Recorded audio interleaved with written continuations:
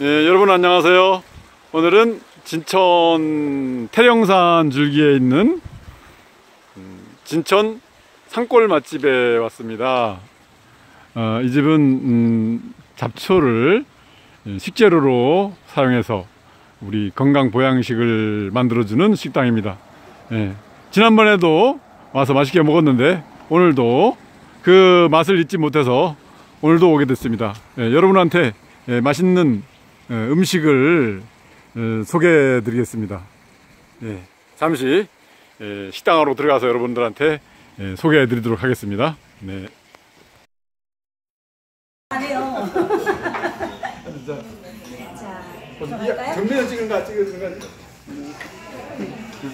네, 여러분 안녕하세요. 오늘 제가 어, 진천에 있는 산골 맛집에 왔습니다. 지난번에도 한번 소개해 시켜드린 적이 있는데 에, 우리 태령산 줄기에 있는 우리 에, 진천 산골 맛집에 와서 오늘도 어, 여러분한테 에, 새로운 맛있는 음식을 소개해 드릴까 합니다.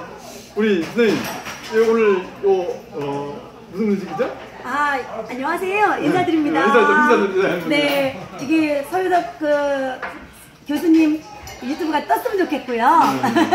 잘 됐으면 좋겠고요. 네, 감사합니다. 네, 자, 이거는 네. 능이 자연산 버섯찌개라는 건데요. 네. 얘는 어, 이 안에는 고기는 전혀 안 들어가 있어요. 고기는 음, 전혀 안 고기는 들어가 안 있고 들어갔고. 전부 자연산 버섯으로만 되어 있는데요. 음, 네, 보세요. 어. 능이버섯, 바다바리, 밀버섯, 뭐 쌀이버섯 이런 버섯으로만 되어 있어요. 왜냐면 응. 버섯은 굳이 고기가 필요 없어요. 버섯 자체가 고기면서 그치, 버섯, 고기. 예, 버섯 자체가 조미료거든요. 음. 여기다가 뭐를 넣냐면 야관문이라는 육수를 50% 정도를 넣었어요. 아, 야관문. 야관문이 뭔지 알죠, 교수님? 네, 영화에도 나오더라고 야간문. 그게 남성 남성분들한테 좋은 게 아니라 네. 보세요. 혈액순환이 잘 되고 콩팥과 폐와 간을 튼튼하게 해서 부부간의 금수를 좋아지게 한다. 그렇기 때문에 아, 혈액순환은 여성분이 더 안 돼요. 남성분들보다. 음. 그러니까 여성분들이 더 많이 드셔야 되겠죠? 네. 그리고 여기는 야관문이 들어가 있고 구찌뽕 오가피. 어, 아, 구찌문까지 들어가 있어요? 네 오가피 엄나무 헛개나무 두릅나무랑 어. 바다 건새우 다시마 미간가루 강황가루 같은 게 넣어 있어요. 어. 그래서 요거 자체가 약초예요. 약 그러니까 뭐지 보신이죠 보신 정말 보양식이네. 네 보양식이에요. 그리고 밥은 밥은 색깔이 노랗네요. 강황밥입니다. 오. 강황밥. 노화 방지 치매 예방 항암에 좋다는 강황밥. 어. 그리고 오늘 제가 요거는 튀김을 아침에 뭘 뜯어왔냐면 가을 냉이를 뜯어왔고요. 튀김으로 그 다음에 민들레도 뜯어왔고요. 그 다음에 엉겅퀴도 뜯어왔어요. 그래서 요거를 튀김을 해드렸고 요거는 어, 맛가루랑 돼지 감자가루. 그걸 해드렸어요. 그리고 요, 네, 요 나물들은 지금 가을에 지금 이제 허리가 오기 전에 고추잎을 막 훑어야 되거든요 음. 고추잎은 따서 말리기도 하고 장아찌로 담그고 또 이렇게 피클로도 담글 수 있지만 이렇게 나물로 제철에 드실 수 있으면 이게 맛있어요. 음. 요거는 그리고 요거는 가을 냉이 뜯어온 거고요. 가을 냉이가 있나요? 네, 그럼요. 원래 어. 나물은 가을에 나와서 겨울을 거쳐서 봄에 먹는 거거든요. 아니, 가을냉이가 들에서 뽑- 그럼요, 그럼요. 오. 네, 이것도요. 다. 어. 이거는 백향과라는 과일의 순이에요. 100가지 향이 난다고 해서 백향과라는 과일의 아. 순이에요. 그리고 요거는 그 망초나물이라고 위에 망초나물. 굉장히 예, 위에 굉장히 좋고요.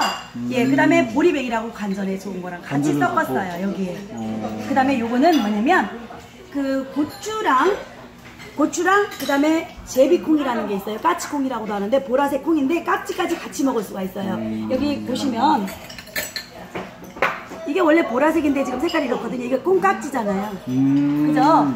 콩깍지를 같이 먹을 수 있는 거예요. 그래서 이거를 같이 촬영한 거고요. 그 다음에 요 장아찌는 매실장아찌, 메론장아찌, 감장아찌, 무장아찌 뭐 이런 모든 장아찌예요. 모둠장아찌. 예. 그리고 일본 사람들이 요새 방사능 때문에 되게 걱정하시잖아요. 요게 방사능에 다 가시오가피. 어, 가시오가피. 아. 네. 그리고 요거는 지금 요거는 우리가 한국 음식을 어쩔 수 없이 짜게 먹을 수밖에 없어요. 그죠? 짜게 먹을 수밖에 없는데 우리는 나트륨을 배출시키려면 칼륨이 꼭 필요하잖아요. 이 호박잎이 여기서는 지금 호박잎이 칼륨이 많이 들어있어서 나트륨을 배출시킬 수 있으니까 이 밥상을 맘 놓고 드셔도 되겠죠? 네. 우리 어머니가 네. 그 호박잎을 잘 드셨던 것 같아요. 이렇게 네. 쌈을 싸가지고. 네네. 이게 정말 그 건강식이잖아요. 네네. 소미질도 많이 있겠죠?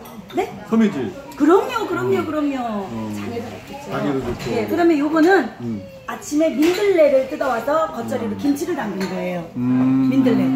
이거는 우엉을 말려서 졸였어요. 네 네 네. 네, 네. 그리고 요, 요거를, 요, 요 쌈장이 저희는 포인트인데요. 인기가 참 좋은 쌈장인데요. 작두콩 청국장이랑, 작두콩 된장이랑, 작두콩 된장이랑 청국장에다가 매시, 저기 뭐지? 표고버섯 가루랑 멸치 가루, 마늘을 넣고 볶아, 볶은 거예요. 볶아서 이렇게 드려서 짠맛을 줄였고요. 비염에 굉장히 좋잖아요. 그래서 이렇게 한 거예요. 네. 아유 감사합니다. 오늘 한글날이잖아요. 네.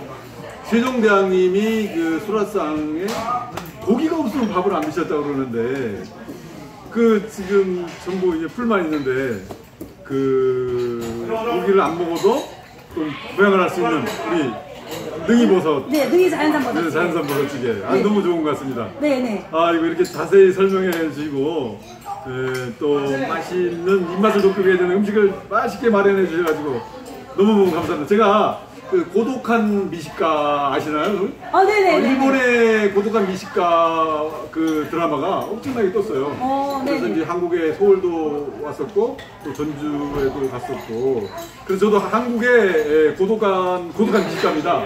그래서 고독하게 에, 이렇게 그 맛집을 찾아다니는 음, 혼밥족. 아, 그러시구나. 그리고 근데 우아한 혼밥족이라고 할 수 있죠. 감사합니다. 네, 아유 김 선생님 설명해 주셔서 감사합니다. 고맙습니다. 또 뵙겠습니다. 네. 네. 감사합니다. 맛있게 드세요. 네, 감사합니다. 네. 끝까지 저희 유튜브 방송 시청해 주셔서 대단히 감사합니다. 오른쪽에 있는 구독 단추 눌러서 구독해 주시고 왼쪽에 제가 추천드리는 또 다른 유튜브 방송 시청해 주시면 대단히 감사하겠습니다.